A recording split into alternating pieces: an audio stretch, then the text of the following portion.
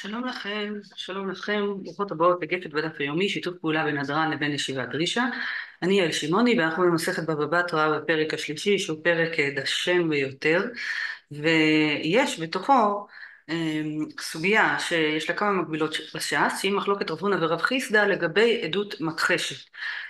ואנחנו ננצל את הדף הזה כדי לראות כמה נקודות שיש פה בראשונים ובמקומות אחרים היום לא נעבוד עם רש"י ועם תוספות כיוון שרש"י כמו שראיתם הפסיק לפרש את בבא בתרא השבוע יש אומרים שהוא נפטר כך כתוב בגמרא לפי מסורת הש"ס והרשב"ם מחליף את מקומו זו אחת הסיבות שהמסכת גם מתארכת אז אין לנו רש"י יש לנו פירוש אחר את הרשב"ם. גם זכינו בבבא בתרא שיש לנו על הדף את רבנו גרשום אנחנו נעיין גם בו. והפעם לא נסתכל בתוספות אלא אנחנו נסתכל במקורות אחרים ברטב"א בשבועות ונשלים בכל זאת את המהלך שלנו כרגיל גמרא פירוש ואיזשהו תוספת מלשון נוסף. אז בואו נתחיל. אנחנו נמצאים בעצם סביב נושא של כל מיני סיטואציות במחלוקות על קרקע. והסוגיה מתחילה ממקרה ספציפי שנחלקו בו רב נחמן ורבא אז בדף ל"א עמוד א' ונעבור תוך כדי לדף ל"א עמוד ב' מה קורה במצב שזה אומר של אבותיי וזה אומר של אבותיי? אז יש לנו פה שני צדדים. ראובן אומר הקרקע הזאת שקיבלתי אותה בירושה של אבותיי. ושמעון אומר הקרקע הזאת אני קיבלתי אותה בירושה של אבותיי. כמובן שהם מתווכחים כל אחד מהם בעצם טוען שהשני משקר. ומה קורה? כל אחד גם מביא עדים לצד שלו. היי אייטה סהדה דאבא תנא באכלה שני חזקה. היי אייטה סהדה דאכלה שני חזקה. כל אחד מביא עדים שמוכיחים שהוא אכל את הקרקע למשך שלוש שנים. בסדר? זה להביא עדות על חזקה.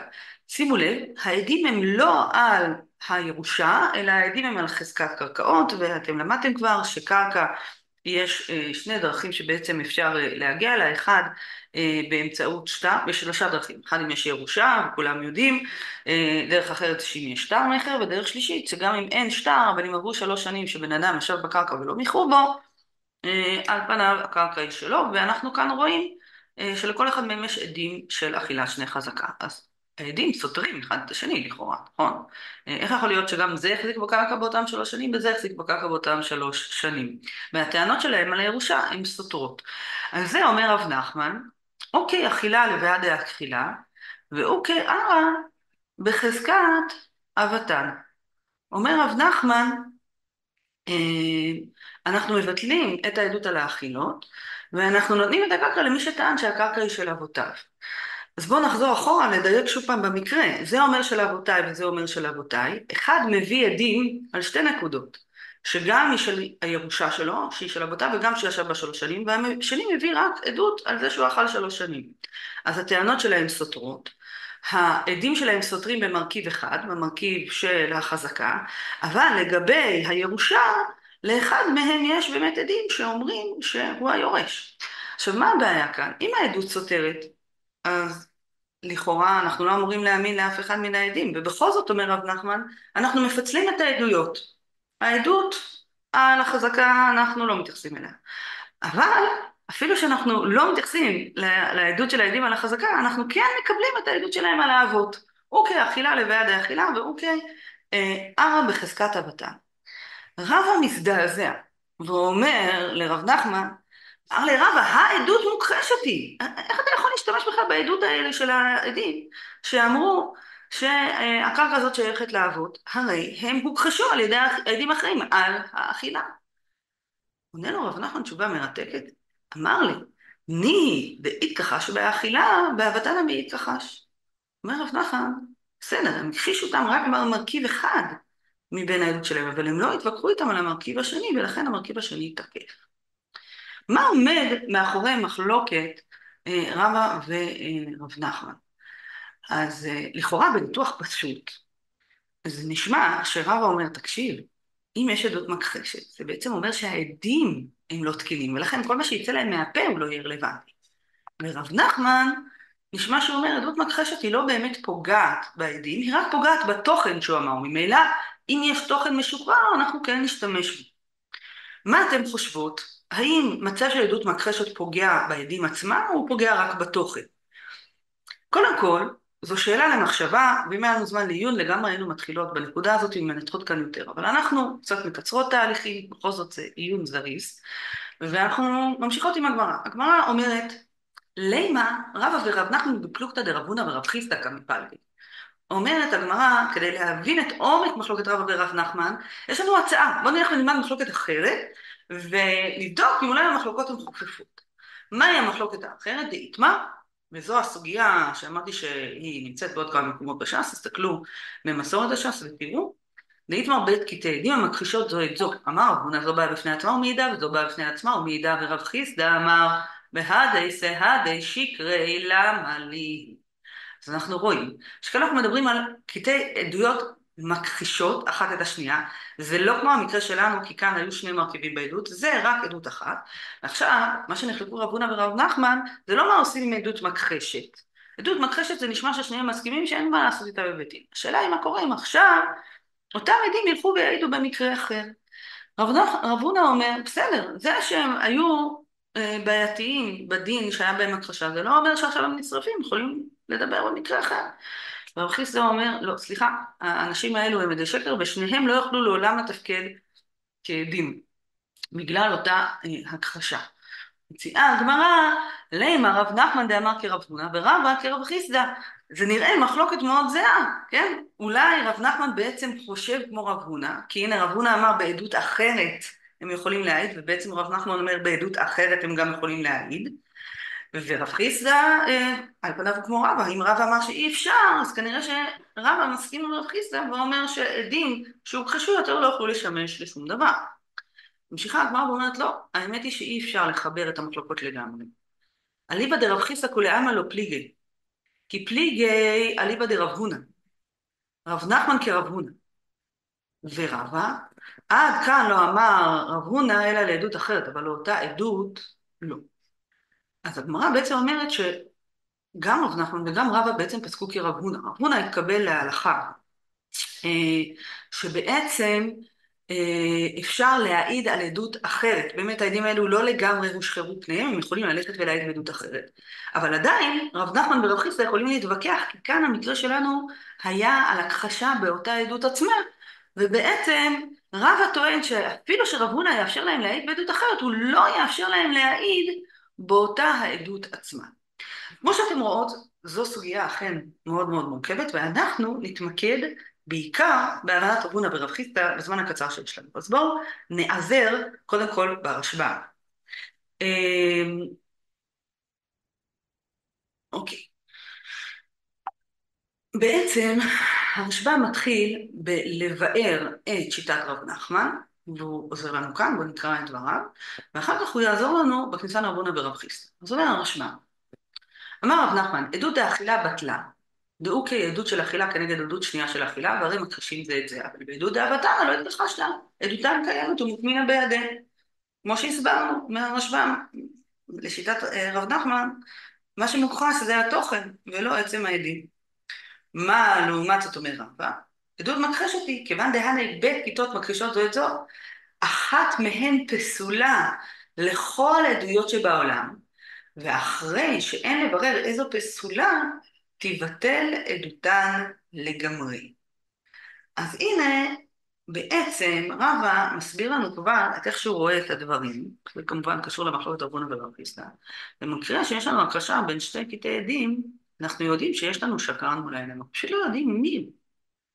ובגלל שאנחנו לא יודעים מי זה, אנחנו בעצם מבטלים את הכוח שלהם להעיד. מה השורש מאחורי המצב הזה של עדות מכחשת? מה זה בכלל המצב של עדות מכחשת? אז רשב"ם טורח לפתח ולהסביר לנו מה זה עדות מכחשת ומנגיד אותה לסוג עדות אחר שהוא סוג עדות יותר מפורסם. וזה רשב"ם בדיבור המתחיל על תחילת מחלוקת רב הונא ורב חיסדא, בית קטעי עדים המכחישות זו את זו, אומר הרשב"ם, בוא אני אסביר לכם, מה זה בית קטעי עדים המכחישות זו את זו? אז קודם כל אומר הרשב"ם, מדובר בעדות אחת, כגון, שניים אומרים פלוני לבא מפלוני מנה, שניים אחרים מכחישים ואומרים לא לבא ממנו כלום, שהרי באותו היום שאתם אומרים שלבא ממנו היה עמנו הלווה, כל אותו היום, ולא לבא משום אדם כלום. ובעדות כזה לא האמינה התורה האחרונים יותר מן הראשונים, אלא בעדות הזמה, כגון שמעידים על העדים עצמם, עמנו הייתם במקום פלוני ולא ראיתם שלווה. הרשב"ם אומר לנו, שימו לב, כשאתם נותנות עדות מכחשת, אתם צריכות לזכור דין אחר. מהו הדין האחר? עדות מוזנת, ויש ביניהם הבדל. לכאורה, הייתם חושבות את זה אותו דבר, אבל שימו לב שזה שונה. אז בואו נראה מה ההבדל בין עדות זוממת לבין עדות מכחשת. אז הרשב"ם אמר לנו שבעדות זוממת יש לזה רק כתוב שמאמינים לאחרונים, ובעדות מכחשת אין גזירת כתוב, אבל הוא גם נתן לנו דוגמה קצת מבלבלת למה ההבדל בין התכנים של העדויות. לכן, אני רוצה לתת לכם דוגמה יותר פשוטה, ואז נחזור להבין את, מה, את הדוגמה שנתן הרשב"ם. בואו נסתכל איך עובדת, עובדת עדות זוממת. עדות זוממת, עדות מזימה, היא תוקפת את העדים ולא את העדות. דוגמה יותר פשוטה מהדוגמה שהביא הרשב"ם. דוגמה הבאה. באים שני עדים אומרים, ראובן רצח את בלהה ביום ראשון אחר הצהריים. בסדר? באים למולם שני עדים אחרים ואומרים, תקשיבו, יכול להיות באמת שראובן אה, אה, רצח את בלהה, אה, זה יכול להיות. אבל אתם, שמעון ולוי, לא יכולים לדעת. כי ביום ראשון ושני הייתם איתנו בשכם. אולי זה נכון, אנחנו בכלל לא מערערים על התוכן, אנחנו פשוט אומרים שאתם לא יכולים להעיד על התוכן הזה כי אתם לא הייתם שם. זו עדות זוממת, וכאן התורה פרשה ואמרה שאנחנו מאמינים לעדים השניים, ואנחנו בעצם יוצאים מתוך הנחה שהעדים הראשונים שיקרו. כן, ויש לדבר הזה השלכות, כיוון שמה שהם תכננו ועשיתם לו כאשר זמם לעשות לאחיו, אנחנו עושים לעדים אלו במקרה הזה. אם רצו להרוג מישהו, הם בעצמם אה, יהרגו, כן? אם הם עדים זוממים, מאמינים לשניים. אז לפי זה, למה שלא לומר את אותו דבר על עדות מכחשת? אולי תמיד העדות השנייה, גם היא תהיה אמינה, ועדים זוממים, מאמינים לעדות השנייה. אז מה ההבדל בין עדות מכחשת לעדות מזימה? שעדות מכחשת זה סתירה לגבי תוכן העדות. פה שני עדים באים ואומרים, ראובן רצח את בלהה ביום ראשון אחר הצהריים, ובאים העדים השניים ואומרים, לא נכון, זה לא היה ראובן, זה היה יוסף. מתווכחים על התוכן. במקרה הזה אומר הרשב"ם שוויכוח על התוכן ולא על עצם העדות עצמה, אנחנו לא יכולים להאמין לאף אחד מהם כי הם סותרים אחד את השני חזיתית, כשה... ואין גזירת כתוב. בעדות זוממת יש שם גזירת כתוב, בעדות מכחשת אין גזירת אה, כתוב.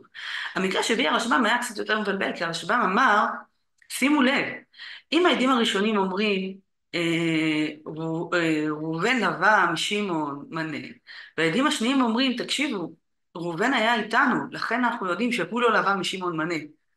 אה, זה נורא נורא דומה לעדות זוממת, נכון? אבל שימו לב להבדל. פה זה הוויכוח על האם ראובן לבא. שעדים אומרים שראובן לבא, ועדים השניים אומרים ראובן לא לבא. זה ויכוח על התוכן של העדות, ולא על העדים שמעידים על העדות. זה ההבדל בין עדות מקרשת לבין עדות זוממת, ואמר הרשב"ם, מה ההבדל? שבעדות זוממת יש גזירת כתוב, אנחנו מאמינים לאחרונים, ובעדות מקרשת אין גזירת כתוב. כמו שאתם מבינות, כשאנחנו נגיע למסכת מכות, אז אנחנו נצטרך להבין באמת מה השורש של עדות זוממת, למה אנחנו מאמינים להם, זה רק גזירת כתוב, זה רק שרירותי, יש פה תחושה שצריך להבין יותר, אבל אנחנו לא ניכנס לשם, ואנחנו מנסים להבין בעצם, אם בעדות מכחשת אנחנו לא מאמינים לאף אחד, אנחנו בעצם תקועים, לא נתקענו. אז מה בעצם הדין בעדות מכחשת, ובמה נחלקו רב הונא ורב חיסדא. נכון? כי רב הונא אומר, תקשיב, כשיש סתירה כזאת, אין שום בעיה שהם ילכו ויעידו על משהו אחר. ורב חיסדא אומר, תקשיב, העדים האלה שקרנים. מה אה, הוויכוח ביניהם? אז הרשב"ם מבאר את מחלוקת רב הונא ורב חיסדא ואומר, זו באה בפני עצמה ומעידה כשאר עדויות שבעולם, אומר רב הונא, למה? שלא נחזיקנה בפסולה מספק. אומר אה, הרשב"ם, עדים הם בגדול כשרים. אתה רוצה להפוך את העדים האלו לפסולים? רב רונו אומר לך, בסדר, אתה לא יכול להפוך מישהו מקשר לפסול אם יש לך ספק על הפסול.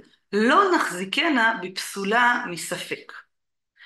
זו באה בעדות אחרת, אבל אחד מכת זו ואחד מכת זו אין מצטרפים לעדות אחת, דעה אחד מהם פסול בוודאי, ואין כאן אלא חצי עדות.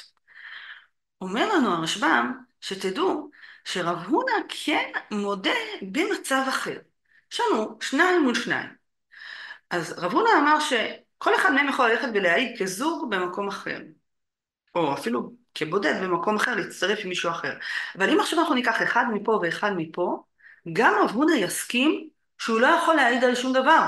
למה? כי בטוח מאה אחוז שיש פה שקרן.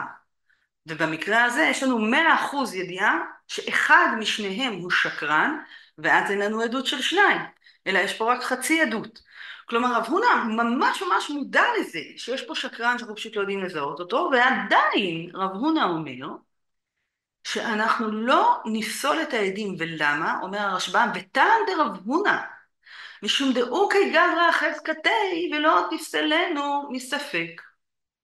לכל אחד מן העדים האלו יש חזקת כשרות. כדי להוציא משהו מחזקתו, אנחנו צריכים אמירה ודאית, ופה יש לנו ספק. אז על כל אחד מהעדים האלו יש לנו ספק, ואנחנו לא יכולים להפוך אותו לפסול. זו שיטת רב הונא לפי הרשב"ם. מה לגבי רב חיסדא? במה הוא חולק? יש פה טעם מאוד חזק של רב הונא. רב חיסדא אמר, בעד הסעדה שיקרא למה ולא יעידו בשום עדות בעולם, דאוקי ממונה החזקתי, ולא תוציאנו מספק, שמא העדים פסולים. לפי רב חיסדא, הוא אומר, בסדר, יכול להיות שלעדים האלו, אתה דיברת על חזקת כשרות של העדים, אני מדבר איתך על חזקה אחרת. הממון, יש לו חזקה, מה שתחת ידו של אדם שלו. אתה לא יכול להוציא ממון עם עדות ספק. והעדות הזאת היא ספק. הבעיה בעדים האלו זה שהם ספק כשרים. והעובדה הזאת לא משנה את חזקתם, אבל הופכת אותם ללהיות חלשים. אין להם יותר כוח להוציא ממון. בואו אה, נחדד. אז לפי שיטת הרשב"ם, לרב הונא יש לעדים חזקת כשרות. הספק לא מוציא אותם מחזקתם, אז מבחינתנו יש לנו גם את כשרות. לפי רב הונא, אין לעדים חזקת כשרות, הם ספק פסולים, וספק לא יכול להוציא מחזקת ממון. אתם רואות שהוויכוח פה זה נראה ויכוח על חזקות, אולי אפילו ויכוח בדין דאורייתא.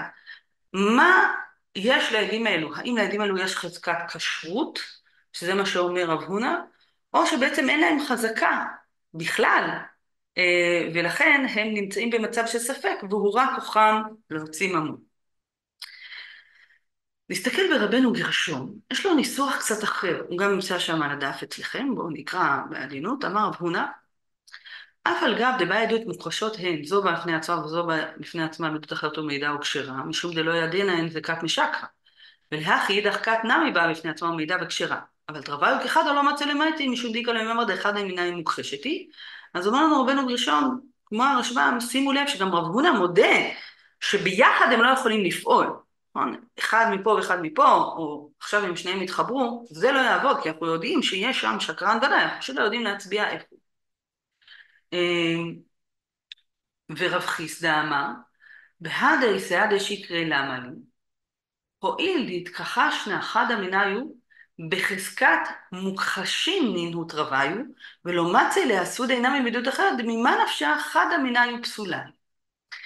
יש פה ניסוח טיפה שונה מהרשב"ם, נכון? הרשב"ם אמר שרב הונא דיבר על חזקה של העדים, וזה היה נשמע שרב חיסדא אומר שאין לעדים חזקה בכלל.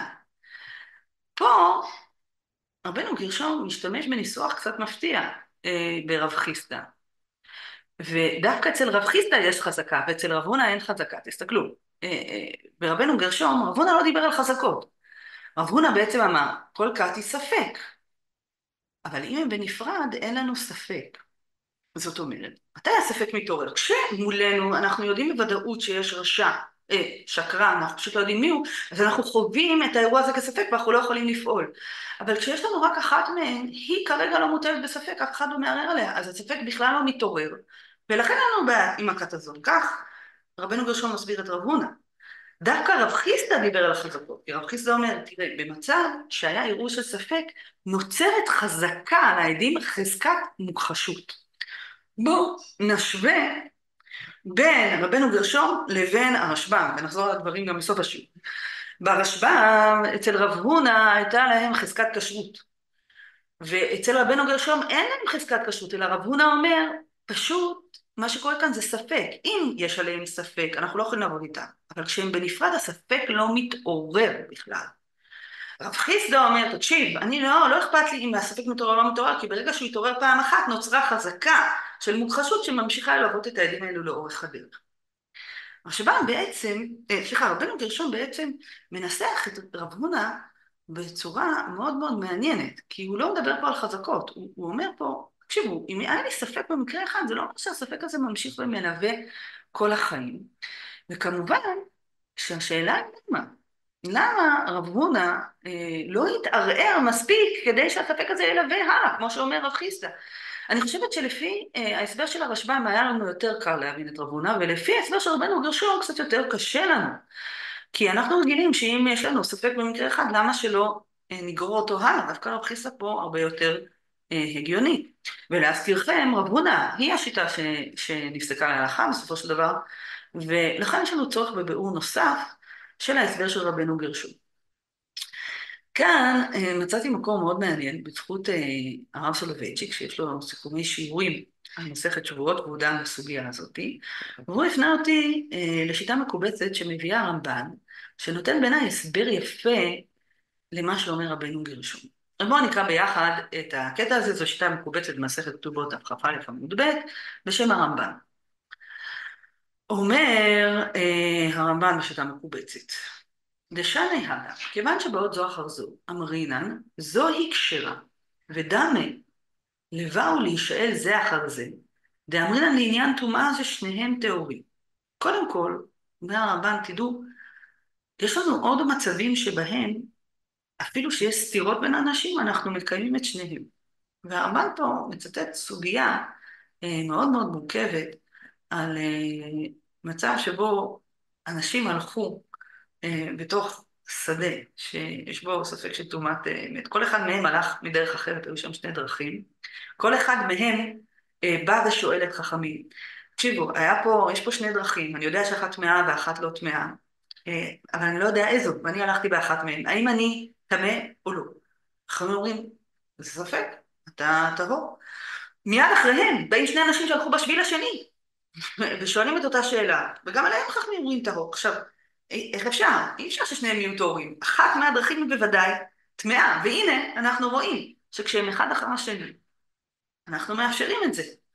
אז קודם כל הרמב"ן אומר, תראו, מה שרב הונא אומר זה דומה לאותו דבר.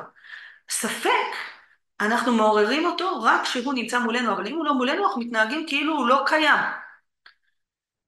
אני לא יודעת מה אתם חושבות, זה עדיין כמובן, אה, אה, כל מה שעשה הרמב"ן הוא אומר, זה לא מקרה יחיד, אה, אתם צריכות להבין שזה קורה גם במקומות אחרים. ממשיך הרמב"ן ומחדד ונותן כאן טעם מיוחד דווקא לסוגיה שלנו. ואף על גב דהכה לאפוקי ממונה, כיוון שבאים בזה אחר זה כשרים, שאין הכחשתן פסול גמור. אומר הרמב"ן, שתדעו לכם, שהכחשה היא לא באמת יוצרת פסול גמור. מה פשר דבריו של הרמב"ן? אז קודם כל, איך הרמב"ן מוכיח את דבריו? שימו לב, מוכיח את דבריו מתחילת הסוגיה שלנו. שאפילו באותה עדות קיימה לה, ני להתכחש באכילה באבדנה, מי יתכחש, אבל שני קטעי עדים הבאים לפנינו על אחד, ודאי פס ללאו הפומי, כי איך ידלא נפיק ממון הפומי, דעה בספק יצא דינו לפנינו. אז אומר הרמב"ן, מסקנת הסוגיה שלנו הייתה כרב נחמן. אתם זוכרות מה רב נחמן אמר? רב נחמן אמר שאפילו אם מישהו משקר, אה, אה, אנחנו לא יכולים לקבל את העדות שלו על החזקה, אנחנו כן נקבל את העדות שלו על, על, על האבות. איך זה יכול להיות? אומר הרמב"ן, שימו לב, אין הכחשתן פסול גמור. הרמב"ן לקח אותנו צעד נוסף קדימה, אבל עדיין נשארנו בצריך עיון, נכון? הרמב"ן אמר, תראו, הספק של עדות מכחשת הוא לא פסול ברור, אבל הוא לא באר. מדוע זה לא פסול ברור? הרב סולובייצ'יק בשיעורים שלו נותן טעם לדברי הרמב"ן, אני חושב טעם מאוד מאוד מעניין שעוזר להבין גם את רבנו גרשון. אז בואו נקרא דבריו, הוא אומר ככה, בשיטה מקובצת לכתובות, מביא בשם הרמב"ן, וזה לשונו. אפשר נהתם כיוון שבעוד זו אחר זו, אמרינן זו כשרה, ודם אלה באו להישאל זה אחר זה, דאמרינן לעניין טומאה ששניהם טהורים. ואף על גב דאחל להפוקי ממונו, כיוון שבאים בזה אחר זה כשרים שאין הכחשם פסול גמור. כן, כל זה קראנו. וכאן מסביר הרב סולובייצ'יק, ונראה שרוצה לומר שאין הכת השנייה מעידה כלל על פסול הכת הראשונה, שהרי אפשר שהכת הראשונה העידה לשקר בטעות ולא בזדון, ואינם רשעים כלל. ולכן, אף על פי שאפשרות זו רחוקה היא, ובית דין בדרך כלל אינם תולים העדת העדים בשגיאה או בטעות, עם כל זה, מאחר שאפשרות כזאת קיימת, במסכום ספק תרי כנגד תרי, תולים בחזקת כשרות ואומרים שכשרים הם, ולא העידו לשקר במזיד, וזה כוונתו באומרם שאין הכחשתם פסול ברור. אז הרב סולובייצ'יק נתן לנו פה טעם שבעצם מחבר את רבנו גרשון חזרה לרשב"ם. מה, מה בעצם אמר הרב סולובייצ'יק? הוא אומר, תראו, כשיש ויכוח על עובדות, ובעצם לא דיברו בכלל על העדים, תמיד יכול להיות שהעדים פשוט העידו בטעות. הם לא באמת התכוונו לשקר. הם מצידם חושבים שהם דוברי אמת, אבל יכול להיות שהם טעו. למשל, הדוגמה של חזקת שלוש שנים. איך יכול להיות ששני עדים מעידים עליי, שאני החזקתי בקרקע שלוש שנים, והעידו גם עליכם שהחזקתם בקרקע שלוש שנים. דווקא כאן אני יכולה בקלות להבין איך. נכון, להחזיק בקרקע זה אומר לשהות, לעבוד בקרקע במשך התקופה. יכול להיות שאתם הגעתם בשני, שלישי וחמישי, ואני הגעתי ברביעי וראשון. והעדים פשוט ראו אותנו בזמנים שונים. זו טעות אפשרית, היא לא בלתי אפשרית. אין כאן סתירה חזיתית לגמרי. כמובן ברצח זה הרבה יותר מסובך, למרות שגם שם אפשר לטעות, יכול להיות שמישהו היה מחופש, יכול להיות שמישהו לא ידע.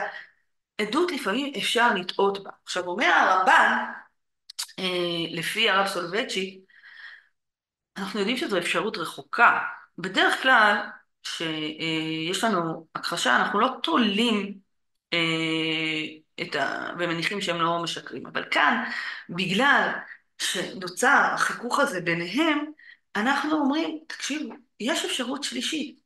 יכול להיות שאף אחד פה לא שקרן, ולכן הם נשארים על חזקת כשרות, בגלל אותה אפשרות רחוקה שקיימת. ההכחשה היא לא פסול ברור. ולפי הרמב"ן אנחנו רואים שיש הבדל בין עדות מוזמת לעדות מכחשת. בעדות מוזמת הדיבור הוא ישר על העדים. בעצם העדים השניים באים ואומרים, אתם פסולים. פה העדים השניים לא אמרו, מאה אחוז אתם פסולים. מה הם אמרו? תקשיבו, העובדות לא נכונות, אנחנו לא אמרנו למה אתם לא אמרתם נכון, אולי זו טעות בראייה שלכם. אני לא אומר לכם כלום, אני רק אומר שהמציאות הייתה אחרת. ויכוח על המציאות לא בהכרח גוזר שהצדדים היו שקרנים, וזו בעצם ההצעה של הרב סולובייצ'יק בהסבר הרמב"ן, עוזרת לנו להבין את ההבדל בין עדות מכחשת לבין עדות מוזמת לשיטת רב הונא. אנחנו בעצם, לא יודעת מה אתם חושבות, האם השתכנעתם ממה שאמר סולובייצ'יק, האם השתכנעתם מהרשב"ם ומרבנו גרשון, שעדות מכחשת לא באמת פוגעת בכשרות של העדים. אבל אם כך, הרבה יותר קשה לנו להבין את רב חיסדא, נכון? מה רב חיסדא אומר? חיסדא, על פניו לפי רבנו גרשון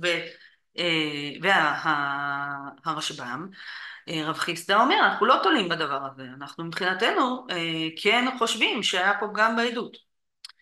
אחד מתלמידי הרמב"ן, הריטב"א, קרא את הסוגיה האחרת והציע לפרש את רב חיסדא לא כחולק באמת על רב הונא.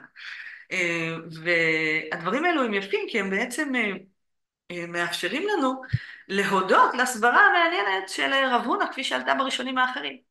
בואו נראה מה אומר הריטב"א. הריטב"א אומר, מצטט את הסוגיה, יתמר שתי קטעי עדים וכולי, ואומר הריטב"א, דרב הונא סבר, דכיוון דלא הדינן מן מיניה ושקרנית, כל חד וחד המוקמינן בחזקת כשרה. עכשיו יש לנו בעצם הבנה יותר עמוקה מדוע. ורב חיסדא אמר, בהדי סעדי שקרי למה לי, והלישנא משמע, דרב חיסדא בדרך חומרא אמר לי, לבאר עדות שקר מן העולם. וכיוון דידינן ודאי דחד המיניה ושקרנית, למה לנו לקבל מהם שום עדות? אומר הריטב"א, שימו לב, רב חיסדא הוא לא אמר הם פסולים. נכון? רב חיסדא דיבר בלשון מליצית כזאת, בהרי סייעתא שקרי למה לי? מה צריך את השקרנים האלה אצלי?